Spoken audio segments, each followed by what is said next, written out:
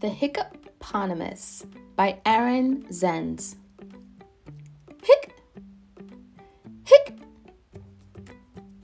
There was a hippopotamus who hiccuped quite a lot miss.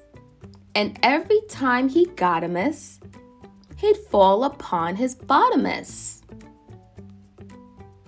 One day he saw an elephant with cakes of green and yellowfant.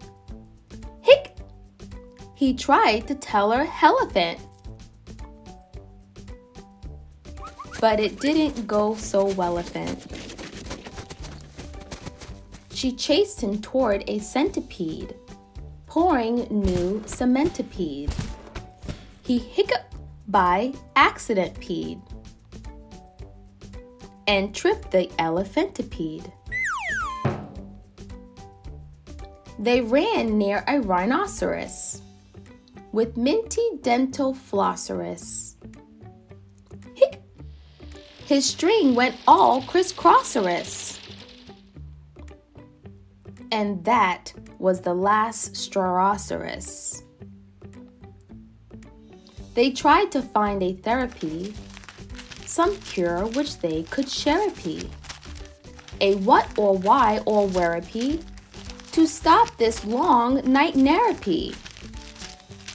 So they wrapped him round with licorice and spun him very quickerish.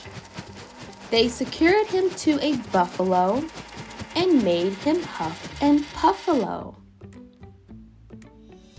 They acquired an aquarium and flashed him something scarum. They poured him tubs of vinegar and tickled his chinny chin chiniger.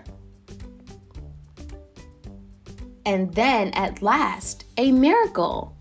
His hiccups, so severical, just didn't reappearical. He grinned from ear to earicle until